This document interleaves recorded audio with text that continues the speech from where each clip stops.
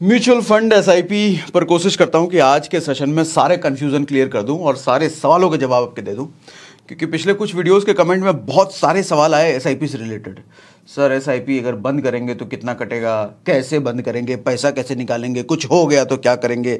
Sir कहाँ करें? सही म्यूचुअल फंड कौन सा है? सही जगह कैसे इन्वेस्ट करें? सर पैसा हमारा डूब तो नहीं जाएगा। कितना परसेंट मिलेगा सर कैसे आप गारंटी कह सकते हैं बारह परसेंट पंद्रह परसेंट मिलेगा? सर कम तो नहीं मिलेगा, ज़्यादा तो नहीं मिलेगा। ऐसे बहुत सारे सवाल आए आपके।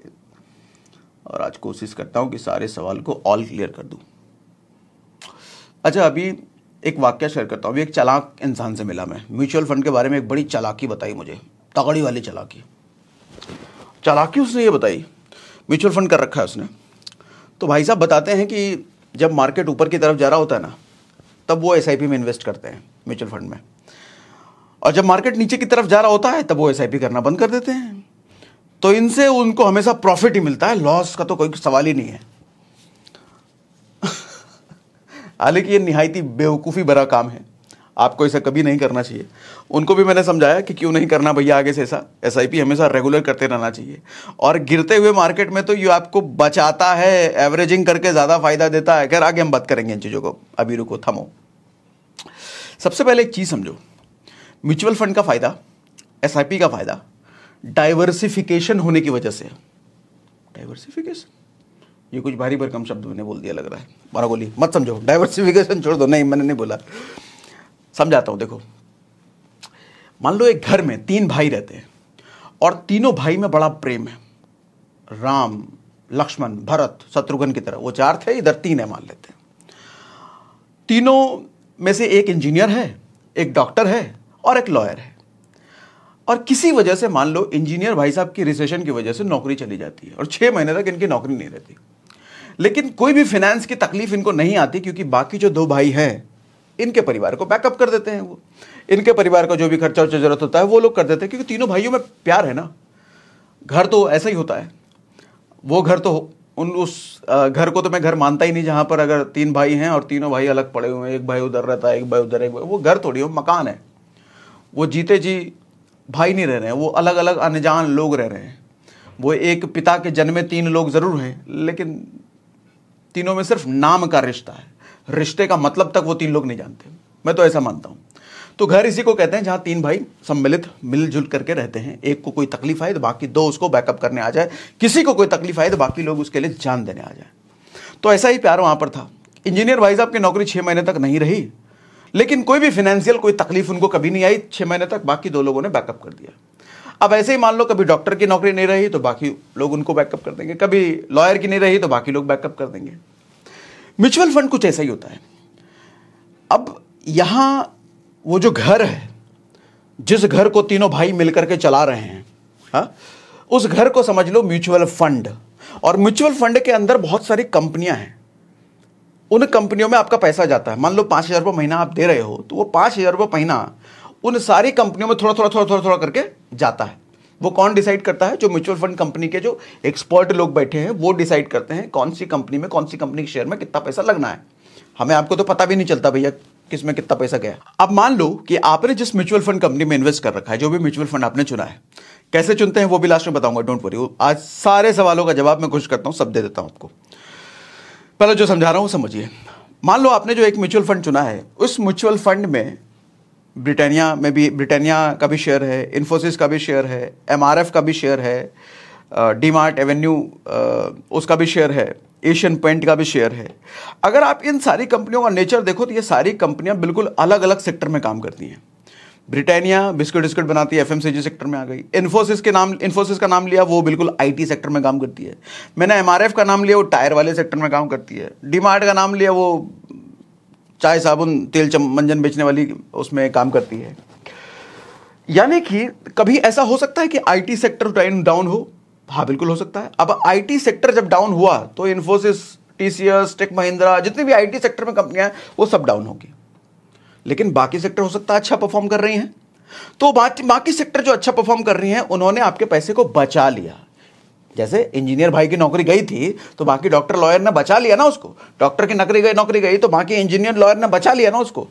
अब होता क्या है कि अगर आपने इंडिविजुअली शेयर में इन्वेस्ट करा है आईटी शेयर में आईटी शेयर्स में इन्वेस्ट कर रखा है इन्फोसिस में इन्वेस्ट कर रखा है। अब इन्फोसिस का शेयर गया डाउन तो आपका पैसा भी डाउन गया ना, है ना?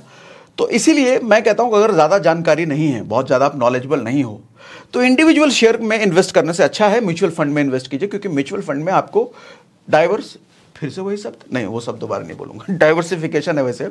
डाइवर्सिफिकेशन का मतलब होता है अलग अलग कैटेगरी की चीज़ों में इन्वेस्टमेंट ये समझ होता है ये समझ लो भैया। ठीक है? जैसे इंजीनियर एक अलग ही नौकरी डॉक्टर एक अलग टाइप की नौकरी लॉयर एक अलग टॉप की नौकरी। अब तीनों भाई मान लो अगर इंजीनियर होते और रिसेशन आ गया होता तो तीनों की नौकरी चली जाती। फिर घर कौन चलाता? समझ रहे हो? म्यूचुअल फंड का ये फ़ायदा है कि अलग अलग कैटेगरी में आपके पैसे लगे हैं। ये बड़ी अच्छी म्यूचुअल फंड वाली कंपनी है तो अलग अलग कैटेगरी में ही वो पैसे डालते हैं। क्या ऐसा हो सकता है कि कोई म्यूचुअल फंड कंपनी सिर्फ़ आईटी सेक्टर में सारा पैसा डाल के रखी हो? ऐसा नहीं होता। ऐसा होगा तो भैया आईटी सेक्टर डाउन होगा तो सब आपका फंड ही डाउन हो जाएगा तो। अब वो बेवकूफ़ तो बैठे नहीं हैं, वो हमसे और आपसे ज़्यादा चलाक है, ज़्यादा समझदार है पढ़े लिखे लोग हैं। इसी चीज़ के एक्सपर्ट हैं फंड मैनेज करने में उनकी मास्टरी है। तो कभी ये गलती नहीं करेंगे, हमेशा डाइवर्सिफाई करके अलग अलग कैटेगरी की कंपनियों में वो डालते हैं। ठीक है, इससे हमारा फंड बेसिकली बच जाता है लॉस में नहीं जाता। एक अगर डाउन हो भी रहा है तो दूसरा उसको बचा लेता है अप कर देता है। दूसरे में कोई डाउन हुआ तो तीसरा उसको बचा लेता है। म्यूचुअल फंड का यह सबसे बड़ा फ़ायदा है कि आपका फंड भैया, एक गिरता है, दूसरा बचा लेता है। आपका फंड पर किसी तरीके से आँच नहीं आती म्यूचुअल फंड में। यह सबसे बड़ा फ़ायदा, मैं जो समझाने कुछ समझे कि नहीं समझे? कमेंट बॉक्स में मुझे लिख के बताइए, समझ गए? समझ गए ना? समझ गए कि नहीं समझे? हाँ समझ गए। चलो, ठीक है। ठीक है? अब एक चीज़ और मैं समझाता हूँ आपको। आ, तीन टर्मिनोलॉजीज होती हैं। Large cap mid cap small cap आपने सुना होगा। इसका मतलब मोटा मोटी देखो ये समझो जब हम कहते हैं लार्ज कैप तो बड़ी बड़ी कंपनियाँ लार्ज कैपिटल लार्ज कैप का मतलब लार्ज कैपिटल जिसके पास बड़ा कैपिटल जिसके पास बहुत पैसा है बड़ी बड़ी कंपनियाँ। मिड कैप मतलब ठीक ठाक वाली, स्मॉल कैप मतलब छोटी मोटी कंपनियाँ, ठीक है? तो म्यूचुअल फंड में जब भी आप इन्वेस्ट कर रहे हैं, जो भी म्यूचुअल फंड आप चुन रहे हैं ना, एक चीज़ हमेशा ध्यान रखिए, ये मेरा सलाह है कि हमेशा लार्ज कैप को चूज़ करें, मिड कैप, स्मॉल कैप को चूज़ ना करें। हालाँकि बहुत सारे लोग मिड कैप में भी करते हैं, बहुत सारे लोग स्मॉल कैप में भी करते हैं और बहुत मोटा मोटा प्रॉफिट भी कमाते हैं। लेकिन मैं क्यों कहता हूँ कि लार्ज कैप में करना सही है? ज़्यादा सेफ़ है बेसिकली लार्ज कैप में। देखो, लार्ज कैप म्यूचुअल फंड की जो कैटेगरी होती है ना, उसमें सिर्फ़ बड़ी बड़ी कंपनियाँ होती हैं। और ये जो बड़ी बड़ी कंपनियाँ होती हैं, उनका लॉस बहुत बड़ा बड़ा नहीं होगा कभी। हाँ अब यस बैंक की बात नहीं कर रहा, या सत्यम की बात नहीं कर रहा, जो कंपनियाँ बड़ी होने के बावजूद एकदम बर्बादी हो जाती है, ऐसी बहुत कम होती हैं, और बहुत ही कम होती हैं ऐसे ना के बराबर, ना के बराबर तो नहीं कह सकते। ये कह सकते हैं कि सौ में कोई एक आध निकल गई तो निकल गई। लेकिन जनरली ऐसा नहीं होता है कि बैंक ही हो जाए कंपनी तो इनका प्रॉफिट भले ही बहुत बड़ा नहीं होता है, लेकिन लॉस भी बहुत बड़ा नहीं होता है। लार्ज कैप कंपनियाँ जो होती हैं, एक साल में आपको 100 परसेंट का रिटर्न नहीं देगी। लेकिन यह भी तय है कि एक साल में 100 परसेंट इनका डाउन नहीं होगा। ऐसा भी होता है। लेकिन स्मॉल कैप में क्या होता है कि एक ही साल में आपको 100 परसेंट का रिटर्न दे देगी। लेकिन यह भी होता है कि एक ही साल में आपको 100 परसेंट का डाउन, यानी कि आधा कर दे आपका पैसा यह भी होता है। तो स्मॉल कैप में रिस्क थोड़ा ज़्यादा है। ऐसे ही मिडिल कैप में थोड़ा कम। लेकिन लार्ज कैप कंपनियों में जो बड़ी बड़ी कंपनियाँ हैं, इनमें रिस्क कम होता है। इनमें रिटर्न बहुत ज़्यादा अगर नहीं है। अच्छा बहुत ज़्यादा की जब मैं बात कर रहा हूँ ना तो अभी मैं दिखाऊँगा आपको लास्ट में मोबाइल ऐप में ही दिखाऊँगा सब कुछ कि कैसे हम चूज़ करते हैं लार्ज कैप मिड कैप और उसका परसेंटेज हम कैसे देखते हैं? वो सब आज सब दिखाने वाला हूँ। लाइव आपको शेयर करके स्क्रीन शेयर करके सब दिखाऊँगे। इसीलिए मैं रिकमेंड करता हूँ कि लार्ज कैप में। हाँ स्मॉल कैप में वो लोग कर सकते हैं जिनको थोड़ी एक्सपर्टीज है, जिनको कंपनियाँ परखने की समझ है। जिनको पता है ये कंपनियाँ कैसा इसका फंडामेंटल है, कैसा बैकग्राउंड है। देखो, नई कंपनी, ऐसा नहीं खराबी होती है। नई कंपनी वो भी तो होती है, अभी भी नए नए कंपनी शेयर मार्केट में घुसी है, लेकिन बड़ा स्ट्रांग बैकग्राउंड है, बड़ा अच्छा काम कर रही है मार्केट में, बड़े तगड़े मैनेजमेंट है, और समझने वाले लोग समझ चुके हैं, अरे, पचास साल में तो कंपनी धुआँ उड़ा देगी तो उसमें अभी घुस गए। इतनी समझ होनी चाहिए, लेकिन मैं किससे बात कर रहा हूँ? मैं उनसे बात कर रहा हूँ, जिनको ज़्यादा समझ इस मार्केट की नहीं है, ठीक है? तो उनके लिए मैं कहता हूँ कि लार्ज कैप में जाइए, वो ज़्यादा सेफर है, और रिटर्न अच्छा देती है वो। स्मॉल कैप की तरह नहीं स्मॉल कैप कई बार, लेकिन वही पता ना स्मॉल कैप में भैया सौ परसेंट दे देगा, लेकिन कई बार ऐसा भी हो सकता है कि सौ परसेंट गिर भी जाए। तो पैसे का रिस्क वहाँ पर ज़्यादा है। इसीलिए लार्ज कैप में चाहिए अच्छी कंपनियाँ होती हैं वहाँ पर और अच्छा काम कर रही होती हैं पर, जिसमें अच्छा रिटर्न भी आपको मिलता है। अभी सब स्क्रीन शेयर करके सब दिखाऊँगा कैसे चूज़ करना है large cap mid mid cap small cap सब। डोंट वरी घबराना नहीं, सब सब सब। अच्छा अब एक सवाल आता है, बहुत सारे लोग पूछते हैं, सर एसआईपी करें या लमसम करें? लमसम का मतलब ये होता है देखो, जैसे एसआईपी में होता है कि हम थोड़ा थोड़ा पैसा थोड़ा थोड़ा पैसा डालते रहते हैं। हमारा जो सैलरी आ रहा है, उसमें से पाँच हज़ार रुपये महीना, दो हज़ार रुपये महीना, तीन हज़ार रुपये महीना, हम निकाल निकाल करके थोड़ा थोड़ा हर महीने हमारा एसआईपी बैंक से कटता रहता है, म्यूचुअल फंड में, जो म्यूचुअल फंड में चूज़ करा है, उसमें जाता रहता है। लमसम क्या होता है? कहीं से हमारे पास पाँच लाख रुपये आ गया, कहीं से किसी तरीके से हमारे को दस लाख का बोनस आ गया तो दस लाख रुपए को हमारे को डालना है म्यूचुअल फंड में। अब एक ही बार दस लाख रुपए किसी म्यूचुअल फंड में उठा कर डाल देना, वो हुआ लमसम इन्वेस्टमेंट एक लमसम अमाउंट हमने एक ही बार में, मोटा अमाउंट एक बार में डाल दिया। तो क्या यह सही होता है क्या? अब देखने में क्या लगता है? कहाँ एस में हम पाँच पाँच हज़ार रुपये महीना करके डाल रहे थे तो दस लाख रुपए बनने में उसको कितना टाइम लगेगा? और यहाँ तो हम एक ही बार में दस लाख रुपए उठा के डाल दे रहे हैं। तो इसमें तो मोटा रिटर्न मिलना चाहिए, इसमें तो ज़्यादा कमाई होनी चाहिए, ज़्यादा इंटरेस्ट बनेगा इस पर। ठीक है बात लॉजिकली लेकिन खेल उल्टा भी पड़ जाता है लमसम में। पूछो कैसे? सर 2020 में कोरोना कोविड आया था, जिसकी वजह से शेयर तत तत नीचे की तरफ़ गया था। मान लो किसी ने 2018 में, जो मार्केट थोड़ा ठीक था, अपना दस लाख रुपए डाला होगा मार्केट में, किसी म्यूचुअल फंड में या किसी शेयर में लमसम डाल दिया होगा दस लाख रुपए उठा करके। अब 2020 में उसका पैसा क्या हुआ होगा? हो सकता है दस लाख रुपए इंटरेस्ट कमाना तो छोड़ो, पाँच लाख बन गया होगा छः लाख बन गया होगा, सात लाख बन गया होगा। तो इंटरेस्ट तो छोड़ो, अपना मेन जो कैपिटल है, वो भी कदम नीचे की तरफ़ चला गया। तो मैं समझाना ये चाह रहा हूँ कि शेयर मार्केट देखो गेम ही है ऊपर नीचे का। जैसे इंसान की ज़िंदगी में अप डाउन अप डाउन चला रहता है ना, लगा रहता है ना, ऐसे शेयर मार्केट में अप डाउन अप डाउन हमेशा लगा रहता है। मैं बड़ा रिलेट करता हूँ शेयर मार्केट को इंसान की ज़िंदगी से। बहुत सारी चीज़ें हैं। कभी आप चाहो ना कंपैरिजन का सेशन करवाना मेरे से तो आप मुझे कमेंट बॉक्स में बताओ। इंसान की ज़िंदगी और उसका शेयर मार्केट शेयर मार्केट से सीखने लायक बहुत कुछ है। सीखने लायक मतलब सिर्फ़ पैसा लगाने वाला नहीं। मतलब ज़िंदगी जीना अगर आपको सीखना है तो आप शेयर मार्केट से सीख सकते हो। शेयर मार्केट में ऐसी ऐसी चीज़ें हैं जो कि ज़िंदगी जीने में बहुत काम आएँगी। आप अगर चाहो तो मुझे कमेंट बॉक्स में बताना डिटेल सेशन करूँगा आपके लिए मैं इस पर। बड़ी मज़ेदार, मैंने तो बहुत सारी चीज़ें सीखी हैं शेयर मार्केट से, जो मुझे अपनी ज़िंदगी में मैंने इंप्लीमेंट किया और बहुत फ़ायदा होता है। एक सबसे मेन लेसन तो ये, जैसे शेयर मार्केट हमेशा ऊपर नीचे चलता रहता है, ऐसी किसी भी इंसान की ज़िंदगी में अप डाउन अप डाउन लगा रहता है। कभी अच्छा समय हमेशा नहीं रहेगा या कभी बुरा समय हमेशा नहीं रहेगा। आज अगर बुरा समय है तो कल अच्छा समय भी आएगा और आज अगर अच्छा समय है तो कल बुरा समय भी आएगा। इसीलिए मैं सबको हमेशा समझाता हूँ, देखो बुरे समय में घबराओ मत, मेहनत करो, खूब मेहनत करो। ताकि कल अच्छा समय ला पाओ। और अच्छा समय आज अगर है तो ज़्यादा ज़्यादा अयासी और बोकराती करो मत। मेहनत करो। बोकराती में लग जाओगे तो बुरा समय बहुत जल्दी आ जाएगा। मेहनत करते रहोगे तो बुरा समय लेट से आएगा, लेकिन एक चीज़ तय है, बुरा समय आएगा दोबारा ज़रूर। और जितना ज़्यादा मेहनत करने की आपकी एबिलिटी है ना, काबिलियत है, ताकत है, उतना ज़्यादा बुरा समय आपको परेशान करेगा नहीं, क्योंकि आपका मेंटल स्ट्रेंथ बहुत ताकतवर है। आपको पता है क्या पहले भी मैंने किया है, फिर से दोबारा बाउंस बैक कर लेंगे। समझे? तो हम कहाँ थे? हम थे लमसम पर। अब market up down up down होता रहता है। लमसम आपको तब फ़ायदा दे सकता है जब मार्केट के बॉटम पॉइंट पे आपने इन्वेस्ट किया, जब नीचे की तरफ़ है, वहाँ आपने इन्वेस्ट कर दिया और अब मार्केट ऊपर की तरफ़ जाने लग गया तो वहाँ आपको खूब फ़ायदा देगा।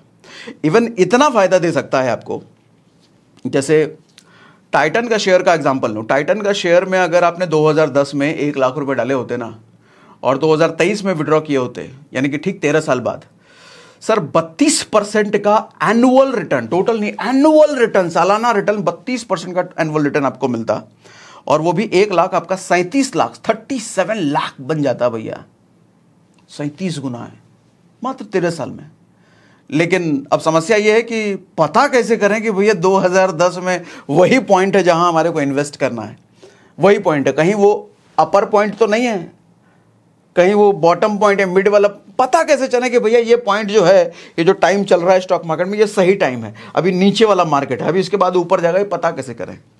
तो ये सबसे बड़ा खेल है। इसके लिए मुझे लगता है आपको थोड़ी बहुत नॉलेज लेने की ज़रूरत है, थोड़ी बहुत किताब पढ़ने की ज़रूरत है।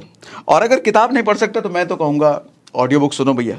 कुकू एफएम पर एक ऑडियो बुक है how to avoid loss and earn consistently in stock market पाँच घंटे सत्ताईस मिनट की ऑडियो बुक है, जिसको तीन लाख से ज़्यादा लोगों ने सुना है। इस बुक में एक अच्छा पॉइंट मुझे सबसे ज़्यादा ये लगा कि इस पर बहुत ज़्यादा हाईलाइट किया गया है कि लॉस से कैसे बचा जाए स्टॉक मार्केट में। और यही तो मेन वो चीज़ है जिससे अगर बचना सीख गए तो फिर तो आप खिलाड़ी बन गए। कुकू एफ़ क्या है? जरा बता दूँ आपको। कुकू एफ़ इंडिया का लीडिंग ऑडियो शो प्लेटफॉर्म है, जहाँ पंद्रह लाख से ज़्यादा हिंदी पेड सब्सक्राइबर्स हैं। और यहाँ हर महीने के बयालीस घंटे से ज़्यादा का कंटेंट हर महीने ऐड हो जाता है। 2023 में 45 लाख घंटे का कंटेंट प्ले किया गया है, जिसमें डेढ़ लाख घंटे डेली सुना है लोगों ने। और इस ऐप की रेटिंग भी 4.5 प्लस है। कुकू एफ़ अब आपको दे रहा है 50 परसेंट डिस्काउंट पहले महीने के मंथली सब्सक्रिप्शन पर। मतलब अब 99 आपको पे नहीं करना, सिर्फ़ 49 पे करके ही आपको मिल जाएगा। लेकिन उसके लिए आपको कूपन कोड मेरा इस्तेमाल करना पड़ेगा, जो कि है S R S fifty discount code यानी कि कूपन कोड और ऐप डाउनलोड करने का लिंक मैंने दोनों ही डिस्क्रिप्शन में और कमेंट बॉक्स में पिन किया हुआ है। शेयर मार्केट सीख ही रहे हो म्यूचुअल फंड सीख ही रहे हो तो अपनी समझ बढ़ा ही रहे हो तो मैं एक बुक आपको कई बार रिकमेंड कर चुका हूँ, एक बार फिर से कहूँगा seven money rules for life इसमें पैसे से संबंधित बहुत सारी चीज़ें आपको सिखाई गई हैं, ना सिर्फ़ इन्वेस्टिंग और सेविंग से रिलेटेड बहुत कुछ बताया गया है। और कोको एफ़ मैं बार बार रिकमेंड इसलिए भी करता हूँ कि ये एक अच्छी हैबिट है ऑडियो बुक सुनना। आपका स्क्रीन टाइम जो हमेशा एनी टाइम मोबाइल में ऐसा लगे रहते हो ना, उससे आपको बचने में बहुत हेल्प मिलती है। अगर आप कुकू एफएम ऑडियो बुक सुनने की हैबिट बना लो तो। ठीक है? अब वापस लमसम पे थोड़ा बात करते हैं कि लमसम कहाँ इन्वेस्ट करें बिना बहुत ज़्यादा सीखे। देखो म्यूचुअल फंड में डालने के बजाय इसको इंडिविजुअल कंपनी में डालो, मैं तो ये रिकमेंड करता हूँ। लेकिन इंडिविजुअल कंपनी में भी अगर आप डाल रहे हो ना, मान लो आपके पास दस लाख रुपए है तो दस लाख रुपए को किसी एक ही कंपनी में मत डालो। मैं कहूँगा दस लाख रुपए को दस अलग अलग कंपनियों में डालो। और दस अलग अलग कंपनी चूज़ करो, जैसे मैंने शुरुआत में बात करी थी अलग अलग प्रोफ़ाइल वाली कंपनी में डालो। एक एफएमसीजी में डाल दिया, थोड़ा आईटी में डाल दिया, थोड़ा इस वाले में डाल दिया, थोड़ा उस वाले में डाल दिया, थोड़ा पेंट वाले में डाल दिया इससे अगेन क्या होगा? एक सेक्टर डाउन होता है तो बाकी सेक्टर आपको बचा लेंगे। क्योंकि ये तो तय है ना अप डाउन जैसा मैंने बताया। ठीक है? तो अब आप मुझसे पूछोगे कि एसआईपी करें या लमसम करें? देखो, पैसा बहुत आ गया है आपके पास। आठ दस लाख रुपए एक बार में आ गया है, बीस लाख रुपए एक बार में आ गया है तो लमसम कर दो, उसको क्या भी करोगे? लमसम कर दो, लेकिन किसी म्यूचुअल फंड या इंडेक्स फंड में करने से अच्छा मैं रिकमेंड करता हूँ इंडिविजुअल शेयर में करो तो वो ज़्यादा अच्छा है, लेकिन समझ होनी चाहिए भैया। थोड़ा समझ बुरा, ऐसे नहीं किसी ओट पटांग शेयर में डाल दियो, सागर सर आपने बोला था शेयर में डालने के लिए शेयर में डाल दिया, वो बर्बाद हो कुछ बचे ऐसा नहीं कर देना। भैया, मैंने, मैं थोड़ी ये बना कि किसी भी शेयर में ऐसे डाल दो, थोड़ा स्टडी करके डालो तो ज़्यादा अच्छा है। और एक बात ये भी समझ लेना कि जब किसी शेयर में इन्वेस्ट कर रहे हो लमसम अमाउंट तो उसका ये भी देख लेना कि अभी वो कहीं ऑल टाइम हाई पर तो नहीं है पीक पर तो नहीं है। कभी भी उस शेयर में इन्वेस्ट मत करना जो पीक पर है, क्योंकि अगर पीक पर है, वहाँ पैसा डाला तो उसके बाद तो नीचे आना है तो आपका पैसा ठीक है। ये समझने का एक बहुत बेसिक सा तरीका है 52 वीक लो और 52 वीक हाई देखो। अभी जो मैं आपको ऐप में दिखाने वाला हूँ ना, उसमें ये बड़ा आराम से दिखाता है। मैं आपको अभी लास्ट में स्क्रीन शेयर करके दिखाऊँगा कि कैसे आइडेंटिफाई करते हैं कि ये बावन वीक में हाई पर है या लो पर है या बीच में है। वो आइडेंटिफाई करना भी सिखाता हूँ, आपके लिए आसान रहेगा लमसम अमाउंट अगर है तो अभी मेरे को इस वाले शेयर में डालना चाहिए कि नहीं चाहिए, वो चीज़ देख करके समझना आसान होता है। ठीक है, समझाऊँगा स्क्रीन शेयर करके दिखाऊँगा डोंट वरी ठीक है? और एसआईपी तो हमेशा अच्छा है ही। तो आप अगेन फिर से वही सवाल आता है कि एसआईपी अच्छा है या लमसम अच्छा है? सर मैं ये नहीं कहूँगा कि एसआईपी ज़्यादा अच्छा है लमसम बुरा है। दोनों अलग अलग चीज़ें हैं ना। कैसे कंपेयर कर लें भैया? बहुत सारे लोग कंपेयर करते हैं। मैं कैसे कंपेयर कर लूँ? लमसम है मोटा पैसा है तो मोटा पैसों का पैसा ही कर नहीं सकते ना। लमसम में ही डालोगे कहीं एक जगह डालोगे तो, तो ये कहना कि कौन अच्छा है कौन बुरा है मुश्किल है। ये कुछ इस तरीके से है कि भगवान राम अच्छे हैं, भगवान कृष्ण अच्छा है। कैसे कह सकते हो? अरे, दोनों बिल्कुल अलग अलग हैं। भगवान शिव अच्छे हैं या भगवान विष्णु अच्छे हैं? अरे, बिल्कुल दोनों अलग अलग हैं। कैसे कंपेयर कर सकते हो आप? तो इसी तरीके से लमसम अलग है एसआईपी अलग है। एसआईपी भी करना है, लेकिन लमसम तो तभी करोगे जब आपके पास मोटा पैसा है। मोटा पैसा नहीं है तो एसआईपी तो बिल्कुल करते रहिए। ऑल टाइम चलता रहेगा एसआईपी तो। ठीक है, अब कुछ सवाल और भी हैं। जैसे कहते हैं ब्रोकर भाग गया तो। अब जैसे एंजल वन हो गया या बहुत सारे ब्रोकर हैं। जो भी आप ब्रोकर ऐप यूज़ करते हो। वही बंद हो गया तो भाग गया तो।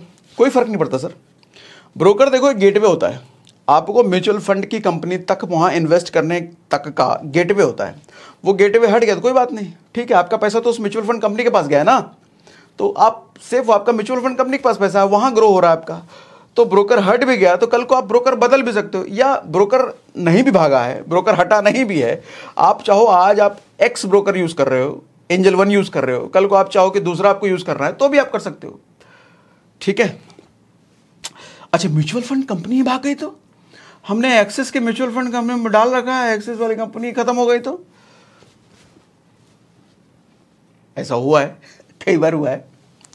देखो, हालाँकि ये बहुत रेयर होता है, बहुत रेयर लेकिन ऐसा जब भी होता है ना, जो म्यूचुअल फंड वाली कंपनी है ना सर, एक चीज़ तो समझो। म्यूचुअल फंड के ऊपर बापूजी बैठे हैं, सेबी। अब सेबी ने ऐसी चीज़ों को ऐसे इग्नोर तो कर नहीं रखा होगा, इसके लिए भी रूल बना रखा होगा। तो रूल ये है कि जब ऐसी कोई म्यूचुअल फंड कंपनी सरेंडर कर रही है, म्यूचुअल फंड वाली कंपनी कहती है, हम अपन को धंधा नहीं करना भैया, मेरा धंधा नहीं चल रहा, हमको कहीं और जाना है, जा रहे तो हमको नहीं कंपनी बंद करना है। तो सेबी कहती है, जब भी ऐसा करना है तो भाई तुम्हारे पास जितना फंड तुमने लोगों से ले रखा है, वो फंड दूसरी म्यूचुअल फंड वाली कंपनी को हैंड ओवर करोगे, अब आपका जो भी म्यूचुअल फंड चल रहा है एसआईपी चल रहा है, अब वो दूसरी कंपनी के पास जो फंड गया है, वहाँ आपका एज इट इज़ चलने लग जाएगा। तो आपके फंड का लॉस नहीं होता, टेंशन मत लो। ब्रोकर भाग गया तो भी कोई दिक्कत नहीं है। म्यूचुअल फंड वाली कंपनी बंद हो रही है तो भी कोई दिक्कत नहीं, क्योंकि आपका फंड सेफ़ है, फंड दूसरी कंपनी को हैंड ओवर किया जाता है। लेकिन हाँ कई बार स्मॉल कैप में कुछ लफड़े हो जाते हैं लार्ज कैप में लफड़े नहीं होते। उन लफड़े के बारे में जानना चाहते हो बताओ कमेंट में बताऊँगा, थोड़ा लंबा चला जाएगा वो। देखो, ज़्यादा कन्फ्यूज़न होने की ज़रूरत है नहीं। जितना ज़्यादा आप जानोगे ना म्यूचुअल फंड में, उतना ज़्यादा आप कन्फ्यूज़ हो। मोटा मोटी ये समझोगे आपका पैसा सेफ़ है। भैया, अगर आप लार्ज कैप में जा रहे हो तो। लार्ज कैप में है, पैसा आपका सेफ़ है म्यूचुअल फंड में पैसा सेफ़ है ब्रोकर भाग गया, कोई दिक्कत नहीं म्यूचुअल फंड कंपनी बंद हो गई, कोई दिक्कत नहीं, दूसरे के पास आपका फंड चला जाएगा। से भी है, ऊपर बैठा हुआ। ठीक? किसी महीने नहीं दे पाए तो एसआईपी का इंस्टॉलमेंट म्यूचुअल फंड का इंस्टॉलमेंट ये बड़ा एक सवाल होता है। भूल गए तो उस महीने हमारे बैंक में पैसा नहीं रहा तो कुछ नहीं होने वाला। देखो म्यूचुअल फंड वाली कंपनी में जो पैसा डाल रहे हो ना, आपने कुछ उससे पैसा उधार नहीं लग रखा, ले रखा, या कुछ खरीद नहीं ले रखा। आपका पैसा उसका बपौती नहीं है। आप उसको पैसा दे रहे हो अपनी मर्ज़ी से, उसको इन्वेस्ट करने के लिए तो उसका धंधा चल रहा है आपकी वजह से। तो ऐसे में एक आध महीना अगर मिस हो गया तो कोई दिक्कत नहीं भैया, वो कोई फाइन विन नहीं लगाने वाले और आपका सिबिल विबिल स्कोर कुछ नहीं होना, कुछ नहीं होने वाला। हाँ ये ज़रूर है कि आपका बैंक से अपने आप जो कट रहा है, वो बैंक वाला ज़रूर आपका ई सी एस मैंडेट वाला जो होता है, वो चार्ज लगा सकता है। वो छोटा मोटा होता है शायद, डेढ़ सौ, दो सौ, तीन सौ रुपये होता है। अलग अलग बैंक का अलग अलग होता है। वो अपने बैंक से आप पूछ सकते हो कि ई सी एस जो लगा हुआ है ई सी एस अगर बाउंस होता है तो क्या चार्ज वो लेती है बैंक अपने बैंक से आप पूछ सकते हो। म्यूचुअल फंड वाली कंपनी कुछ नहीं लेती है। बैंक तो लेगी ना। अब बैंक ने ई e लगवा रखा है। बैंक के पास वो म्यूचुअल फंड वाली कंपनी आती है अरे पैसा दो उसने पैसा दो। अब बैंक देखेगी अकाउंट में तो पैसे नहीं है। तो बैंक के भैया पैसे नहीं अरे यार। तो फिर बैंक कहेंगे अरे तुमने अकाउंट खुलवा रखा पैसा नहीं रखता ई e लगवा रखा है तुमने। पैसा रखते नहीं तो फाइन दो। तो ऐसा करके बैंक आपसे थोड़ा सा फाइन ले लेती है। तो म्यूचुअल फंड कम वाली कंपनी आपसे कोई फाइन नहीं लेती है। आ, बैंक आपसे ले सकती है।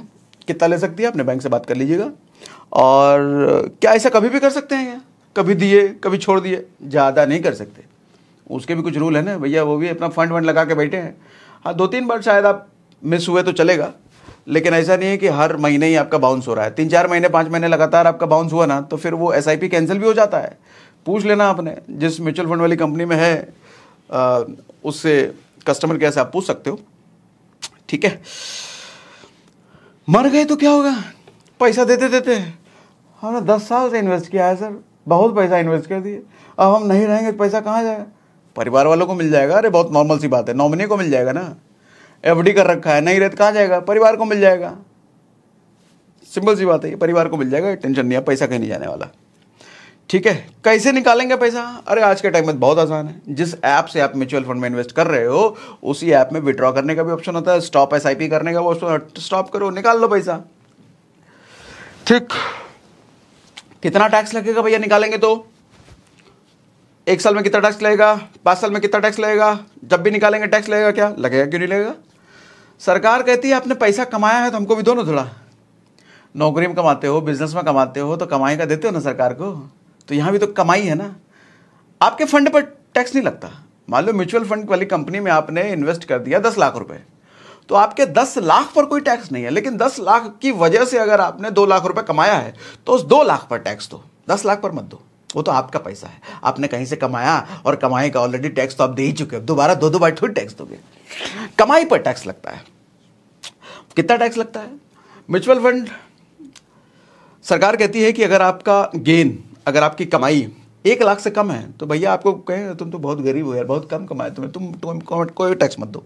तुमको टैक्स देने की ज़रूरत नहीं है। उल्टा मेरे से सहानुभूति अलग ले जाओ। इतना कम कमाया तुमने। लोग तो करोड़ों कमा रहे हैं यार करोड़पति बन रहे हैं। तो सरकार कहती है एक लाख या उससे कम कमाए कुछ मत दो चुपचाप लेकर घर निकल जाओ। नहीं चाहिए तुम्हारा पैसा हमको। एक लाख से ज़्यादा अगर कमा लिए हो और वो भी एक साल के अंदर कमा लिए हो तो पंद्रह परसेंट दे देना टैक्स चुपचाप। पहली फुर्सत में। और एक साल से ज़्यादा हो गए हैं और एक एक लाख से ऊपर का गेन है। तो जो भी गेन है, उस पर दस परसेंट देना। क्योंकि एक साल से कम का इन्वेस्टमेंट शॉर्ट टर्म माना जाता है तो शॉर्ट टर्म में थोड़ा ज़्यादा लेती है आपसे गवर्नमेंट लॉन्ग टर्म में कम लेती है। ठीक है? दस परसेंट लॉन्ग टर्म में, पंद्रह परसेंट शॉर्ट टर्म में। लेकिन अगर एक ही लाख का गेन है तो उस पर कोई टैक्स नहीं। सहानुभूति देकर के आपको घर भेज देगी सरकार। ठीक है? हाँ। अब एक सवाल आता है, कितने साल का करना सही है? आपकी मर्ज़ी यार, कितने भी साल का कर लो, मुझसे क्या पूछ रहे हो? देखो, होता ही है स्टॉक मार्केट में ना, पैसा ही सारा स्टॉक मार्केट में जाता है। स्टॉक मार्केट में साइकिल चलता है। साइकिल कहने का मतलब हर तीन चार साल में मार्केट एक बार डुबकी लगाता है नीचे, और हर तीन चार साल में मार्केट एक बार ऊंचाई पर जाता है। तो ये ऐसा ऐसा सर्किल तीन चार साल, पाँच साल का होता है। कभी ज़्यादा भी हो जाता है, कभी पहले भी हो जाता है। तो मैं कहता हूँ, कम से कम दो साइकिल तो आपको रखना चाहिए अपना म्यूचुअल फंड का पैसा। रखना चाहिए, दो साइकिल और दो साइकिल का मतलब कम से कम दस साल। अच्छा प्रॉफिट निकाल पाओगे, क्योंकि जितना ऐसा ऐसा घूमेगा ना, वो आपके लिए अच्छा है। अच्छा एक सवाल जो मैंने शुरुआत में बोला था। जब मार्केट नीचे गिर रही है, तब इन्वेस्ट नहीं करने का, जब ऊपर जा रही है, तब इन्वेस्ट करने का म्यूचुअल फंड में ऐसा है क्या बिल्कुल नहीं करना।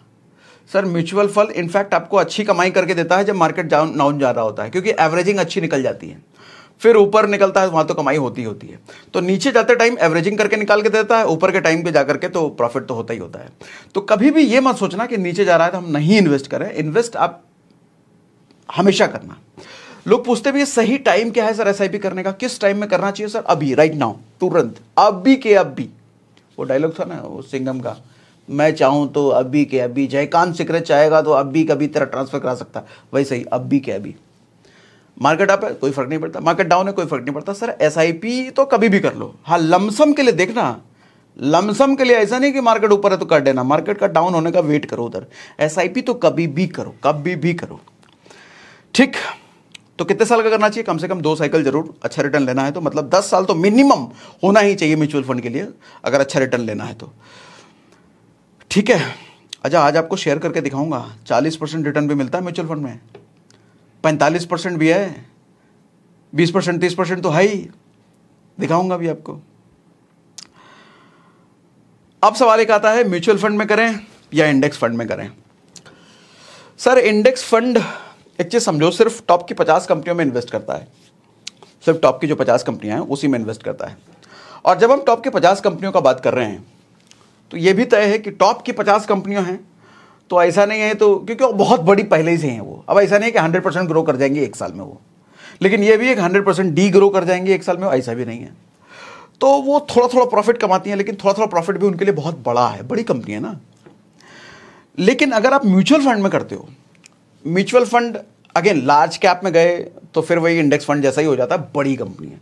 हाँ आपने अगर स्मॉल कैप चुना है, थोड़ी जानकारी लेकर के, या मिड कैप चुना है तो जैसा मैंने बताया कि हंड्रेड परसेंट का भी रिटर्न मिल जाता है, टू हंड्रेड परसेंट का भी रिटर्न मिल जाता है एक ही साल में, ऐसा भी होता है। लेकिन हाँ वो जो स्मॉल कैप म्यूचुअल फंड वाली कंपनी है या मिड कैप म्यूचुअल फंड वाली कंपनी है, वहाँ सिलेक्शन अच्छा होना चाहिए। वो अच्छी कंपनी आपको चूज़ करना होना चाहिए। अभी दिखाता हूँ ऐप टेंशन मत दो अभी दिखाऊँगा ऐप में डोंट वरी ठीक है? तो मैं कहूँगा कि अगर रिस्क लेने के मूड में नहीं हो, पैसा सेफ़ रखने के मूड में हो थोड़ा थोड़ा रिटर्न मिले तो अच्छा रहे अच्छा है, मिलता रहे, वो चाहिए मेरे को। तो इंडेक्स फंड ज़्यादा अच्छा है। लेकिन आप थोड़ा सा बाजीगर टाइप आदमी हो कभी नीचे, कभी ऊपर, लेकिन खेलना है भैया, पैसा तक देखो रिस्क का मतलब ये नहीं कि आपका पैसा डूब जाएगा म्यूचुअल फंड में। ऐसा नहीं होता पैसा आपका ज़ीरो हो जाए। ज़ीरो नहीं होता है।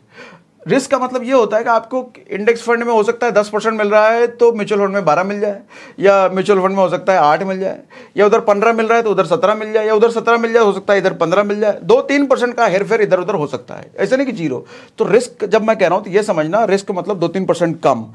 कम रिस्क का मतलब दो तीन परसेंट नहीं। कम रिस्क का मतलब दो तीन परसेंट कम मिलेगा। ज़्यादा रिस्क का मतलब दो तीन परसेंट ज़्यादा मिल सकता है अगर रिस्क अच्छा रहा तो। समझ में आ रही है मेरी बात?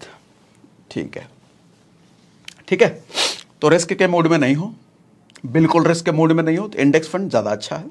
थोड़ा रिस्क के मूड में हो तो mutual fund with mid cap या स्मॉल कैप चूज़ कर सकते हो, क्योंकि लार्ज कैप और इंडेक्स फंड ऑलमोस्ट एक जैसा ही रिटर्न आपको देंगे ऑलमोस्ट कई बार बिल्कुल सिमिलर नहीं है, क्योंकि इंडेक्स फंड में तो पचास ही कंपनियाँ हैं।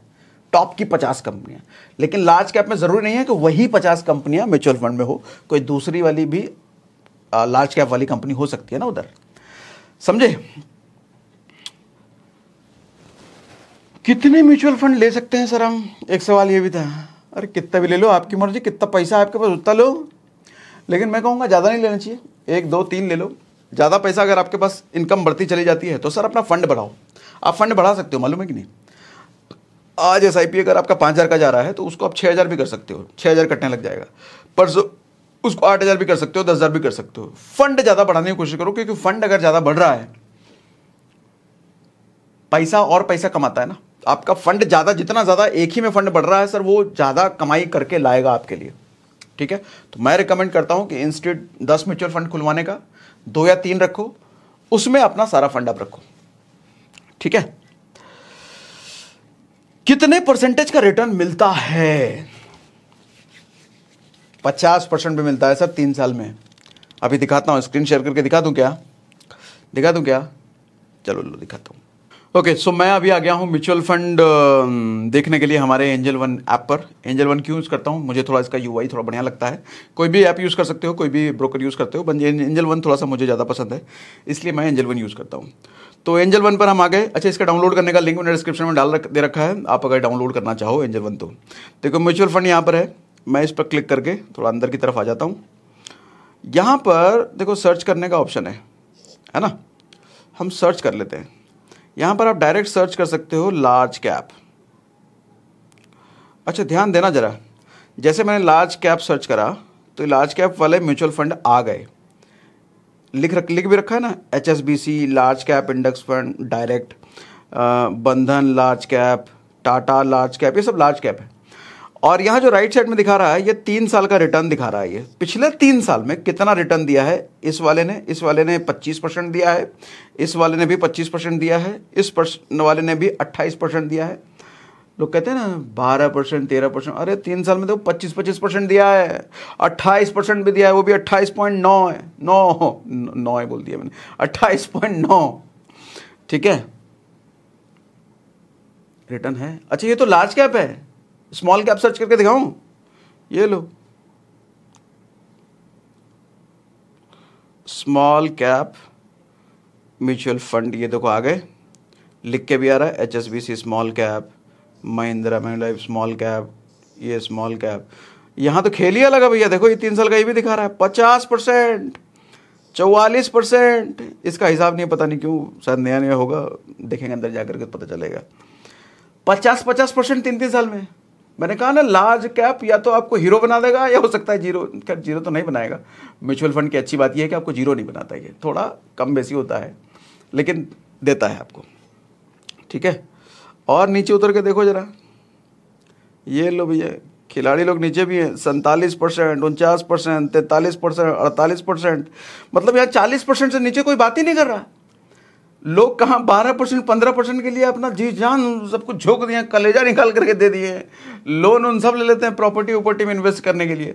यहाँ बैठे बैठे आपको भैया अड़तालीस परसेंट, पचास परसेंट रिटर्न मिल रहा है। समझ रहे हो खेल? मिड कैप का देखते हैं जरा। मिड कैप सॉरी क्या लिख दिया मैंने? एम एट हाँ मिड कैप मैंने सर्च किया, देखो आ गया large and mid cap mid cap mid cap में उनतीस परसेंट, चौंतीस परसेंट, छत्तीस परसेंट। लार्ज से फिर भी ज़्यादा है। लेकिन मैंने कहा ना सेफ़ रहना चाहते हो सेफ़ खेलना चाहते हो तो लार्ज कैप में जाओ। थोड़ा समझ है। मैं कहता हूँ कि समझ के साथ रिस्क लो तो वो रिस्क है। बिना समझ के साथ अगर रिस्क लिया जाए, फिर तो वो जुआ है। अगर आप स्मॉल कैप में भी इन्वेस्ट कर रहे हो ना, थोड़ा स्टडी कर लो उस फंड के बारे में। उस फंड में कौन कौन सी कंपनी है आप देख भी सकते हो। उस फंड में कौन कौन सी कंपनी है, वो कैसी कैसी कंपनियाँ हैं, उसका क्या बैकग्राउंड है, थोड़ा स्टडी करके जाओ ना, वो रिस्क लेना अच्छा है। ठीक है? अब हम ऐसे किसी लार्ज कैप हम सर्च कर लेते हैं। लार्ज कैप के अंदर जाते हैं। हम इसमें चले गए।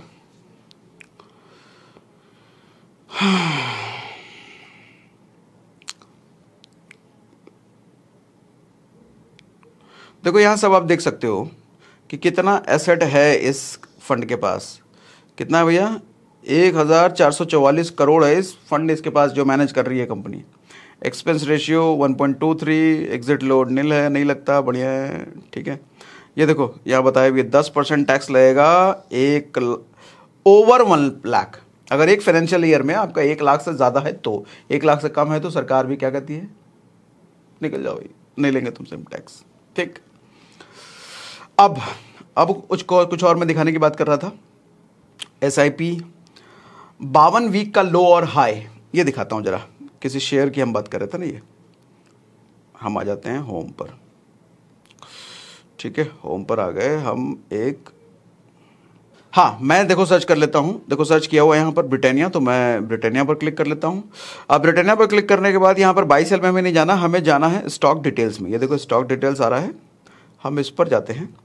और ये देखो, ये दिखा रहा है बावन वीक का हाई लो सर, इस शेयर की सॉरी इस शेयर का करंट प्राइस देखो, चौवालीस सौ रुपये है, चौवालीस सौ उनचास रुपये और, बावन वीक का लो मतलब बावन वीक में लोवेस्ट गया था, ये बत्तीस सौ रुपये का प्राइस था और हाईएस्ट सैंतालीस सौ रुपये का प्राइस गया है। तो अभी आप मुझे बताओ, ब्रिटानिया अपने ऑल टाइम हाई पर है क्या? नहीं है। क्योंकि सत्तालीस सौ के आसपास प्राइस होता तो ये ऑल टाइम हाई पर होता, मैं बिल्कुल इस शेयर में नहीं घुसता। अभी चूँकि चौवालीस पर है तो थोड़ा ठीक है, अभी हाई से नीचे हाँ। इस शेयर में अभी घुसा जा सकता है। लार्ज कैप में बड़ी कंपनियाँ ये। ठीक है? और अगर गलती से ऐसी बड़ी बड़ी कंपनियाँ आपको बावन वीक के लो पर मिल जाए, बड़ी बड़ी लार्ज कैप वाली तो तो एकदम निश्चित घुस जाओ, तुरंत घुस जाओ। मिड में भी घुस जाए, इधर भी मिल जाए आपको, एकदम तुरंत घुस जाओ आपको। ये एक बहुत ईजी तरीका है, समझने का अच्छा है। ठीक है? तो आई होप ये सारी चीज़ें आपको समझ में आ गई होंगी। बाकी कुछ सवाल और बच गया है तो मुझे कमेंट बॉक्स में आप बता दीजिए। मुझे लगता है एसआईपी से रिलेटेड सारा कुछ मैंने कवर कर दिया। कर दिया क्या? मज़ा आया इसके सेशन में? मुझे एक बार फिर से लिख के बता दीजिए, जरा मज़ा आ गया, मज़ा आ गया, मज़ा आ गया सेशन में। अगर लिख के बता दीजिए तो मुझे मुझे भी मज़ा आ जाएगा। पढ़ के मुझे भी मज़ा आ जाएगा भैया। और कुकू एफ़ डाउनलोड करने का लिंक मैंने डिस्क्रिप्शन में दे रखा है। S R S fifty coupon code use कर लेना। नाइन्टी नाइन का नहीं, सिर्फ़ फोर्टी नाइन पे करके आपको कुकू एफ़ मिल जाएगा। और F I S I P में कन्फ्यूज़न कन्फ्यूज़न में ना रही है भैया। अच्छी चीज़ है, पैसा इन्वेस्ट करना चाहिए। किसी भी दूसरी जगह से मुझे लगता है म्यूचुअल फंड में इन्वेस्ट करना एस आई पी में इन्वेस्ट करना ज़्यादा अच्छा है, ज़्यादा रिटर्न भी मिलता है और काफ़ी सेफ़ भी है ये। ठीक है? कमेंट पढ़ रहा हूँ आप